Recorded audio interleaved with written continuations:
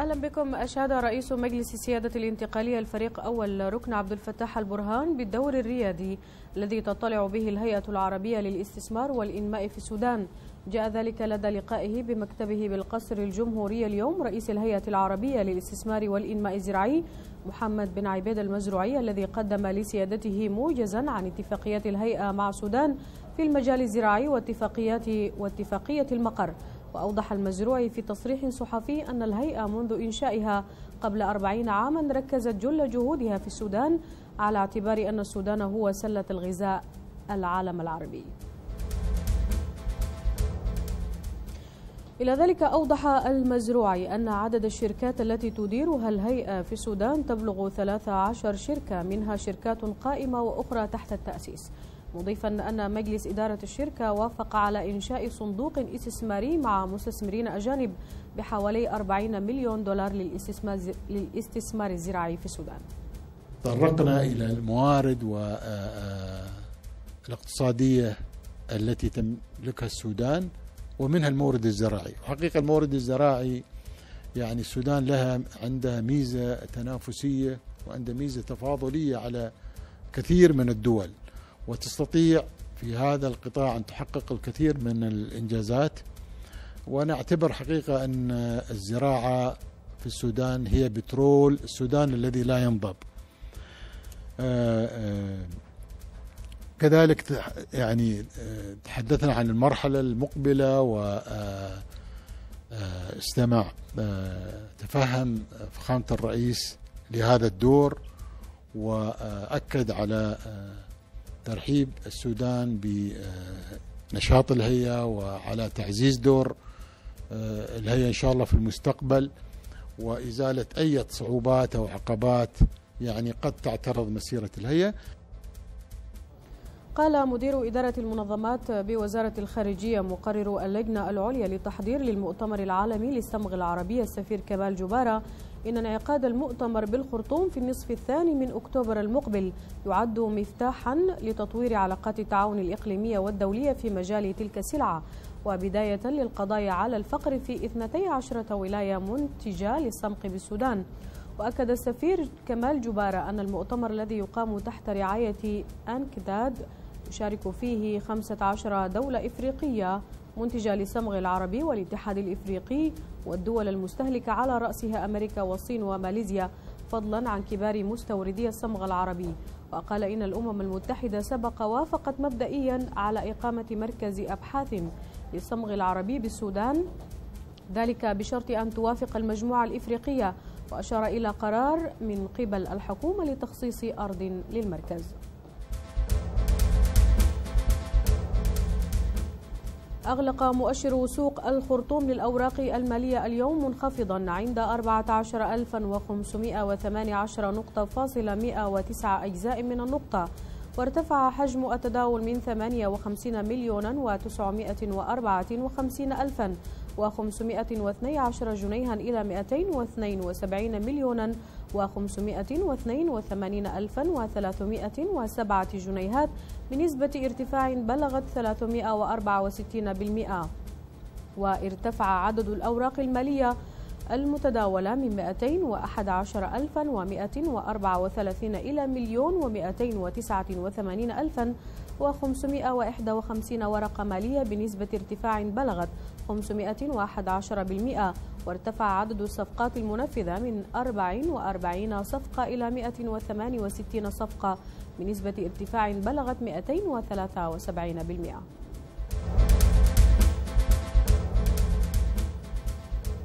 أكد نائب مدير برنامج دعم استقرار شرق السودان بمنظمة الفاو محمد الدوم أن التخطيط السليم وأساس النجاح ولا يتأتى إلا عبر المعلومات الصحيحة والموثقة.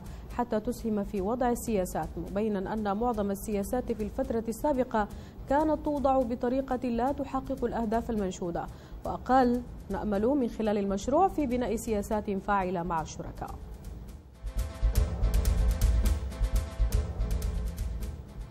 امتدح الخبير والمحلل الاقتصادي دكتور عماد جامع المجهودات المقدرة التي قامت بها اللجنة الاقتصادية برئاسة اللواء ركن إبراهيم جابر في إنجاح الموسم الزراعي الحالي من خلال التزامها بالمصفوفة التي اتبعتها في الإعداد للموسم مشيرا إلى التزام اللجنة بالوعود التي قطعتها في توفير معينات ومدخلات الموسم الزراعي التي يأتي على رأسها توفير التمويل والتقاوى وإدخال التقنات الحديثة والميكنة في العملية الزراعية. أجازت الجمعية العمومية لبنك الثروة الحيوانية في اجتماعها الماضي توصية مجلس الإدارة برفع رأس مال البنك إلى 500 مليون جنيه. وقال المدير العام للبنك الذي أشاد بقرار الجمعية العمومية إن ذلك يضع البنك في طليعة المصارف العاملة في السودان كما يمكنه من تنفيذ مشاريعه ذات الصلة بتوفير قطاع الثروة الحيوانية من حيث المزارع والحظائر والتصنيع بما يحقق الإضافة النوعية لصادر الثروة الحيوانية بالبلاد. وكان اجتماع الجمعية العمومية لبنك الثروة الحيوانية الذي انعقد مساء السبت الماضي في دورته التاسعة عشرة بدار اتحاد المصارف وسط حضور كبير للمساهمين في بنك الثروة الحيوانية كان قد أجاز تقرير مجلس الإدارة بالإجماع. أجازت الجمعية العمومية لبنك الثروة الحيوانية في اجتماعها السبت الحادي والثلاثين من أغسطس المنصرم. توصية مجلس الإدارة برفع رأس مال البنك إلى 500 مليون جنيه. وقال المدير العام للبنك والذي أشاد بقرار الجمعية العمومية أن ذلك يضع البنك في طليعة المصارف العاملة في السودان. كما يمكنه من تنفيذ مشاريعه كافة ذات الصلة بتطوير قطاع الثروة الحيوانية من حيث المزارع والحظائر والتصنيع بما يحقق الإضافة النوعية لصادر الثروة الحيوانية بالبلاد.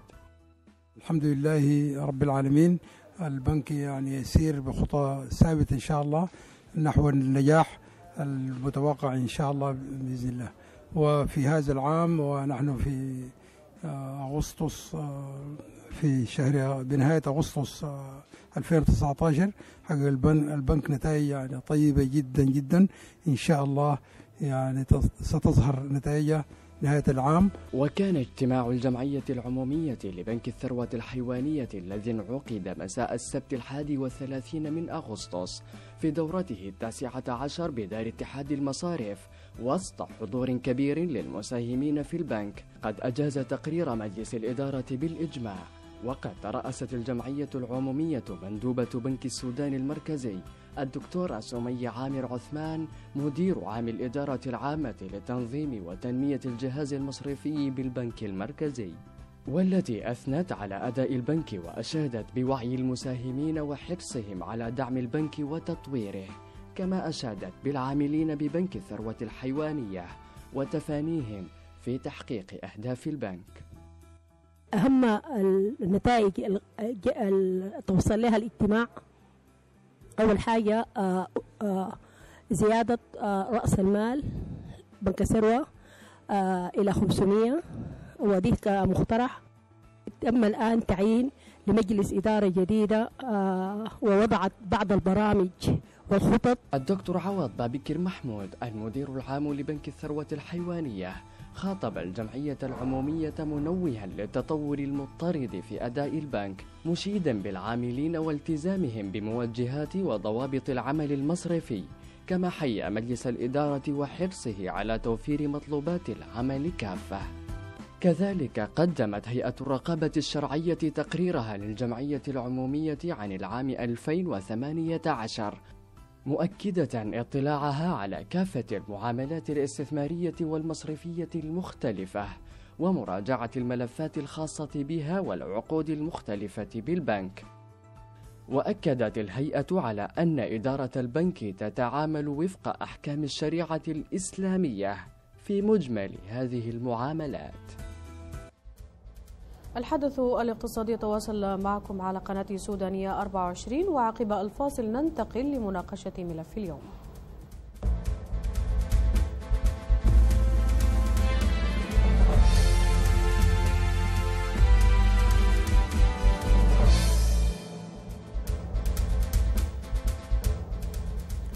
بدأ رئيس وزراء السودان عبد الله حمدوك المفاوضات من أجل جمع الأموال اللازمة لإنعاش الاقتصاد بالخرطوم وذلك بعد أن أعلن عن الحاجة لثمانية مليارات دولار لإنعاش الاقتصاد. وفقا لموقع أفريقا فيستا الأفريقي إن حمدوك بدأ مفاوضات مع صندوق النقد الدولي والبنك الدولي من أجل الحصول على الأموال اللازمة لمواجهة ارتفاع معدل التضخم وانخفاض العملة المحلية وإعادة هيكلة الديون. وكان حمدوك قد قال في تصريحات سابقة إن السودان يحتاج إلى ثمانية مليارات دولار من المساعدات الأجنبية في العامين المقبلين لتغطية الواردات وللمساعدة في إعادة بناء الاقتصاد المنهك. وذلك ما يدعم نوايا الحكومة في الاتجاه إلى تأسيس اقتصاد يقوم على الإنتاج والإنتاجية بما يسهم في نهوض اقتصاد شامل. يعد البحث عن صيغ مرنة للتمويل والاقتراض حجر الزاوية فيه. وجه بشع لرأس المال العابر للحدود وأحد أهم أدوات الاستعمار الحديث.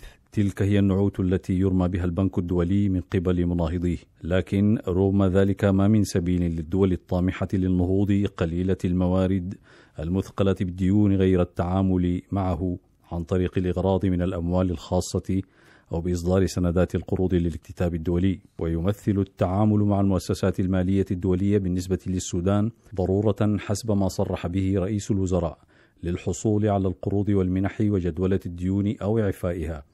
والتي تعد عائقا لانطلاق الاقتصاد.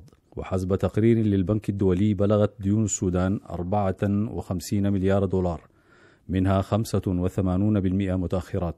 وتضم قائمة دائن السودان مؤسسات متعددة الأطراف بنسبة 15% ونادي باريس بنسبة 37% بجانب 36% لأطراف أخرى بجانب 14% للقطاع الخاص. وحسب تقرير تقييم للاستراتيجية المرحلية لخفض الفقر فإن نسب الديون الخارجية أعلى من الحدود الاسترشادية حيث بلغت 166% من إجمالي الناتج المحلي مقارنة بالحد الذي يبلغ 36% وبين التقرير تدهورا في جميع المؤشرات بعد التراجع الكبير في إجمالي الناتج المحلي والإيرادات الحكومية.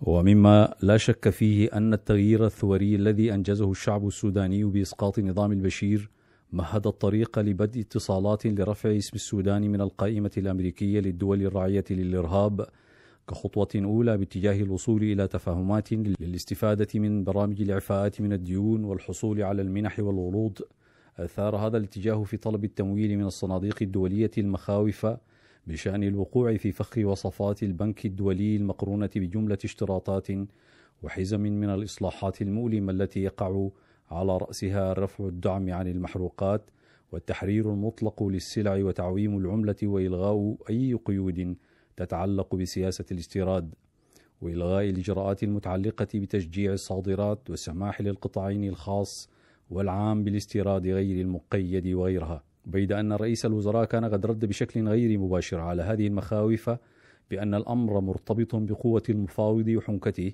في رفض الشروط المجحفة مستشهدا بتجارب إقليمية عديدة أفلتت من براثن الوصفة الموجعة لصندوق النقد الدولي في المنح والقروض.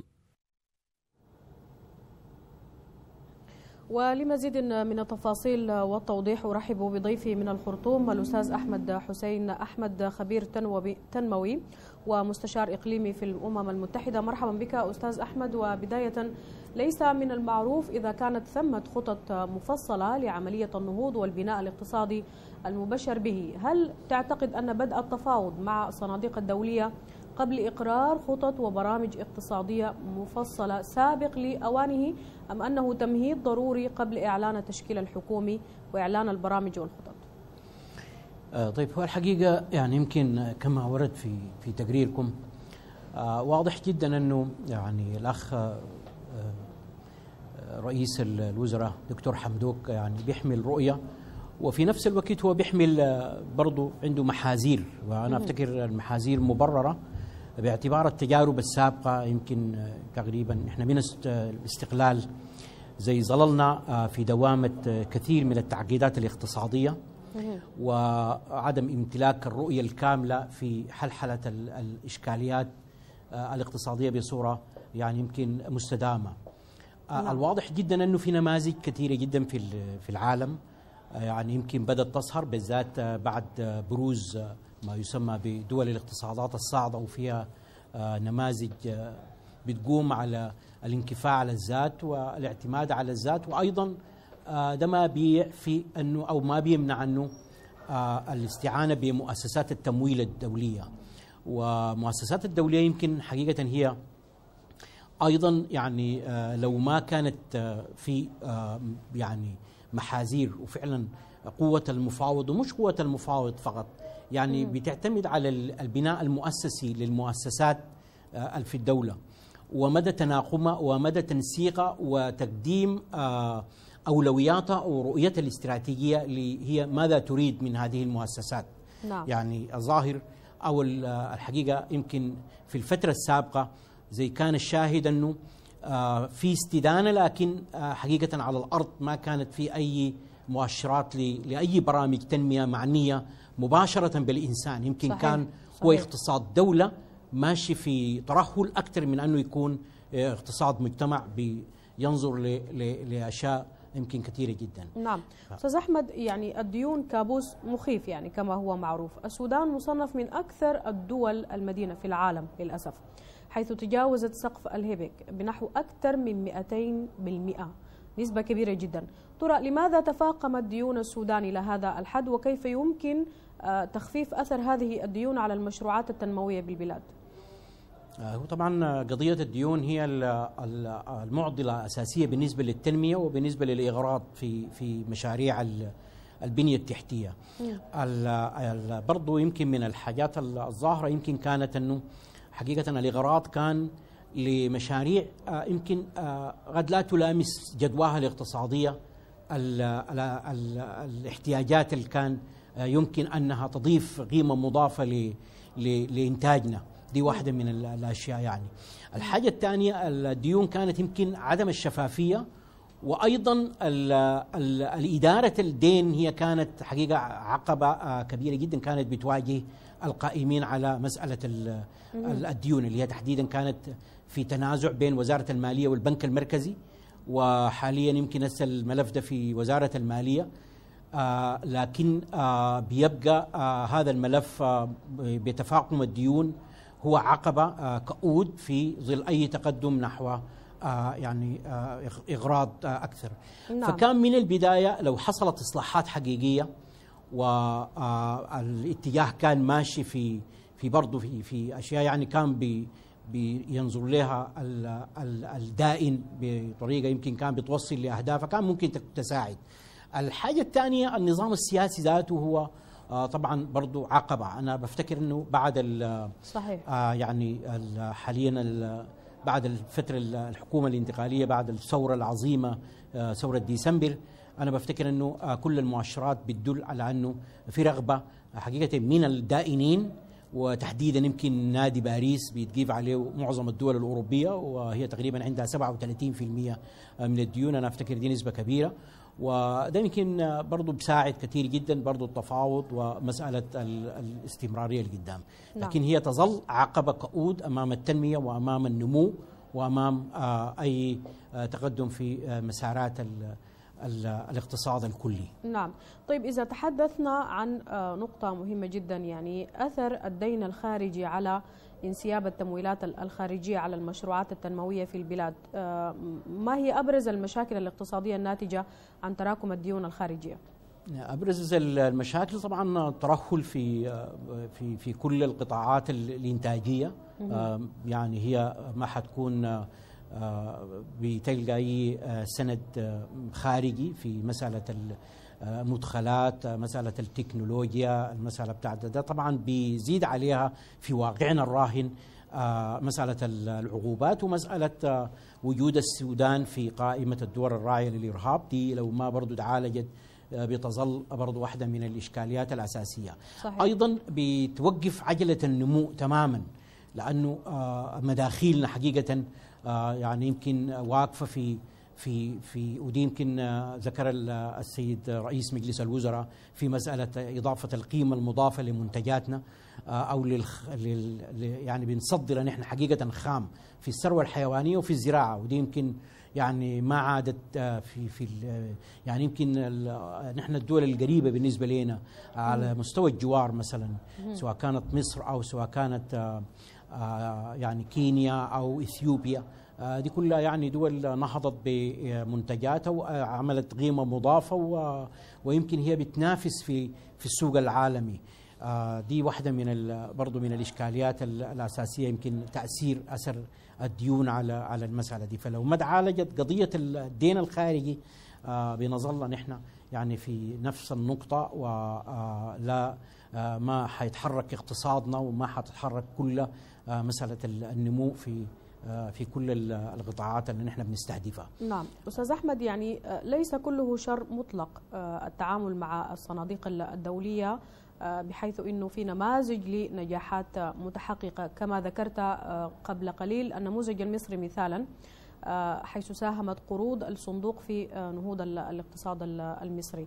آه، وكمؤشر حاسم آه، بلغ صافي احتياطي مصر من النقد الأجنبي حوالي 44 مليار و917 مليون دولار بنهاية شهر يوليو الماضي. وفقا ده طبعا للبنك المركزي المصري. هل أنت متفائل بأن نحصد ذات النجاح؟ وما هي المطلوبات آه، في رأيك يعني؟ والله هي في في طبعا نماذج عدة يعني الليلة في آه، في مسار جديد يعني هو يمكن قديم لكن جديد. مسار آه، اللي هو الدول الصاعدة أو ما يسمى بدول الجنوب دول الجنوب أو التعاون الجنوب جنوب اللي هو ده آه، دافع بقوة في مسارات متعددة مسار التجاري المسار الاستثماري ومسار الاقتصادي. نعم. يعني لو حسبنا هذه الدول من كوريا الجنوبية لغاية النمور الآسيوية لغاية في البرازيل، البرازيل يمكن كانت آه، آه، يعني أنجح نموذج في في تحريك ال- ال- الموارد ال- الداخلية وفي دعم ال- القطاعات المنتجة وفي الانكفاء الذاتي. أيضا فيتنام كوبا آه، آه، يعني في أفريقيا عندنا آه، حاليا رواندا يمكن هي واحدة من من النماذج الحية. ولو نعم. آه، برضو است يعني استقينا من التجر التجارب. بنلقى نلقى أنه في تجارب ناجحة جدا اللي هي آه، أيضا ما يسمى بتكتل مجموعة دول البريكس اللي هي آه، الصين وروسيا والهند وجنوب أفريقيا والبرازيل. دي يمكن حاليا بتشكل آه، 47% من ال من ال عدد تعداد السكان في العالم. بتشكل آه، 27% من الدخل القومي العالمي. ويمكن هي آه، من ناحية بتاعت أرض الأرض برضه هي عندها برضه بتمثل حاجة بتاعت 17% دي يمكن آه، دول بدأت تتجه بقوة وبدأت حتى آه، تأسس لمنظومة عالمية مش مناهضة للمؤسسات بريتون وودز آه، آه، الاقتصادية البنك الدولي وال IMF وإنما أيضا أنشأت ما يسمى آه، ببنك ال- التنمية بنك تنمية البريكس اللي هو كان رأس ماله قرابه ال 200 مليار دولار بدت بيه ك- ك- كصفقة ك يعني ك ك يعني حزمة أولى ويمكن ساهمت الصين لوحدها. ب 50 في ب 50 مليار دولار لل- للبنية التحتية في أفريقيا. دي يمكن كلها ممكن لو آه، داخليا إحنا استوعبنا آه، المسألة بتاعت البعد الإقليمي والبعد الخارجي السياسة الخارجية بتاعتنا. ومع السياسات الداخلية بتاعتنا في سواء كانت السياسات المالية والنقدية آه، ورؤية واضحة لكيفية إدارة هذا هذا المسار. أنا أفتكر السودان ممكن يظل في توازن مع آه، دول الشمال ودول الجنوب نعم. لأنه هم الاثنين بيكملوا لبعض. يعني ما في واحد خصم على الثاني. نعم، لكن ده. محتاج لسياسة خارجية متوازنة وسياسات داخلية على الأقل ماشية مع الأجندات العالمية وتلتف حول أهداف التنمية المستدامة. نعم قبل قليل أستاذ أحمد ذكرت دول ال- الجنوب. يعني آه، ما المقصود بدول ال- الجنوب؟ آه، وأنت ذكرت أنه يعني هي نماذج ناجحة لبعض ال- البلدان آه، شهدت نموا اقتصاديا آه، كبيرا وتطورا تقنيا هائلا. يعني ما المقصود بدول ال- الجنوب؟ آه، خاصة أنه في توجه ثوري يدفع باتجاه تفعيل التعاون بين هذه ال- الدول آه، يعني وهل أنتم تدعمون هذا ال- الاتجاه؟ آي. أنا حاليا يمكن ال- الملف الشغال فيه وأنا أنا مستشار إقليمي لل- للأمم المتحدة للتعاون جنوب جنوب مسؤول من المنطقة العربية. وذكرت المسألة دي لأنه حقيقة أنا يعني في الفترة اللي فاتت كانت يمكن آه، يعني عدة آه، مؤتمرات إقليمية وتجارب حية على الأرض يعني شاهدناها حتى على مستوى السودان بالمناسبة في المجال الزراعي يمكن. فدول الجنوب هي آه، هو هو مفهوم يعني ما جديد مفهوم قديم اللي هو بدأ من مؤتمر باندونغ في 55 مرورا بمجموعة ال 77 والصين اللي هي كلها دول الدول النامية اللي كانت حقيقة آه، بتتأثر من عدم العدالة في في ال- ال- التجارة الدولية. وأيضا آه، في مسألة ال- الهيمنة الاقتصادية لبعض ال- الدول في في في الشمال.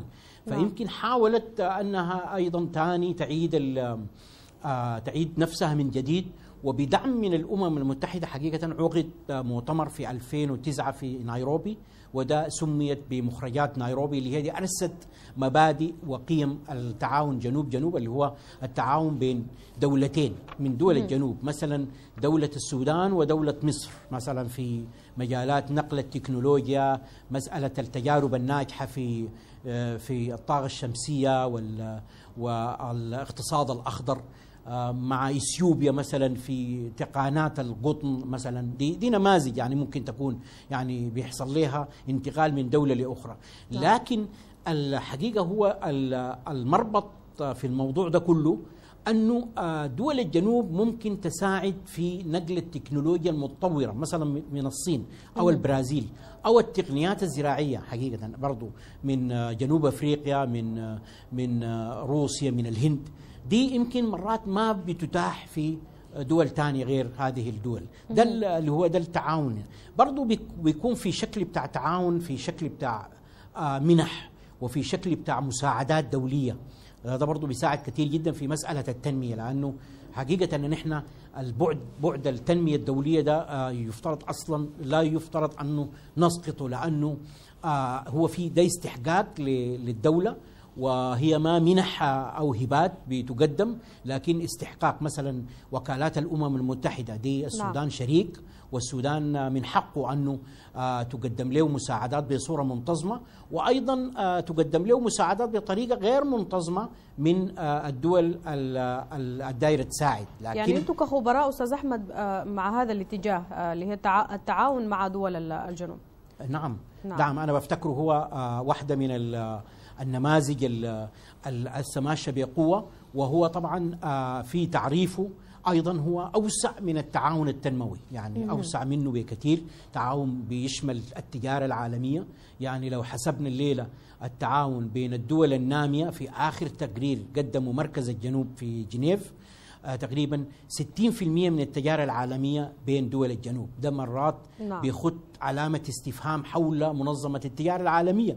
لأنه إذا كانت دول دول الجنوب هي فيما بيناتها بي يعني بي بتخش في مسألة التجارة الب- البينية بيناتها على مستوى أفريقيا على مستوى الأقاليم. فمؤكد أنه في تعاون آه، أوسع آه، وفي شكل بتاع استثمارات يعني وفي شكل بتاع تعاون تنموي. يعني دول ال- الدول أيضا الدول الناميه أو دول الجنوب في 2018 وصلت وصل دعمها. فيما بيناتها ل 800 مليار دولار. يعني أنا أفتكر ده برضو مبلغ كبير. نعم، يعني صحيح. مبلغ. ده لو حسبنا برضو آه، الدول ال- آه، الدول العربية مثلا. يعني في آخر تقرير أنا برضو كنت مشارك فيه في المنطقة العربية ال- كانت في 2000 اللي هو أهداف التنمية الأولى أهداف الألفية ال- الانمائيه من 2000 ل 2015 آه، ال- آه، ألزمت كل الدول الغنية بأنها تدفع 0.7 من دخلها القومي آه، للتنمية. ففشلت. ما عدا خمسة دول فقط فيها ثلاثة دول اسكندنافية وفيها هولندا ولوكسمبورغ. يعني دي الخمسة دول فقط.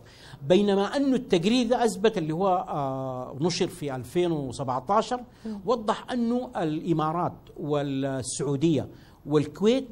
الثلاثة ساهموا ب 1.5 اللي هو دبل ال- المبلغ اللي التزمت به والدول الغنية. فأنا أفتكر في في موارد في المنطقة العربية لكن كيف؟ أنا بفتكر هو ده الكلام اللي ذكرناه أول نعم. لما أستاذ أحمد آه، أخيرا بالنسبة لضيق ال- الزمن هل أنت متفائل بحل مشكلة ديون السودان بصورة عامة؟ سريعا آه، في, في أنا- أنا أقل من دقيقة.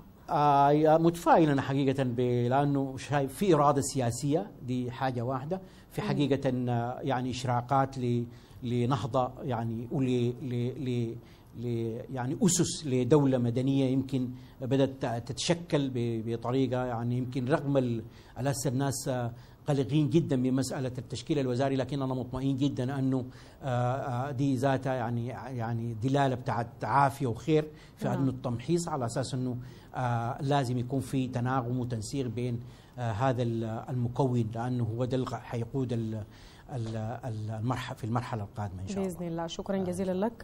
كنت معنا من الخرطوم عبر الحدث الاقتصادي الأستاذ أحمد حسين أحمد خبير تنموي مختص في التعاون الدولي ومستشار إقليمي في الأمم المتحدة. شكرا جزيلا لك.